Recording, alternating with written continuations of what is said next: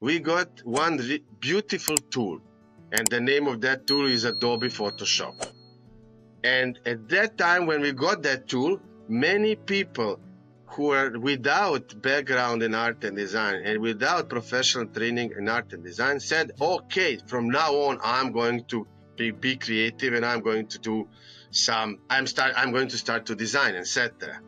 And then many people got impression actually that uh, Photoshop is just you put something in, you put some photo in, and then Photoshop do everything for you.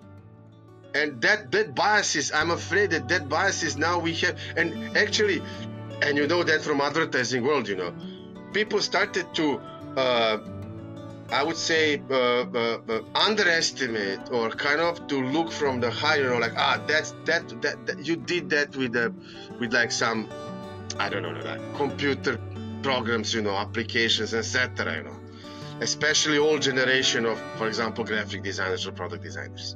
And then slowly, slowly, everybody accept that. And now it's standard. I think that that is happening also with artificial intelligence.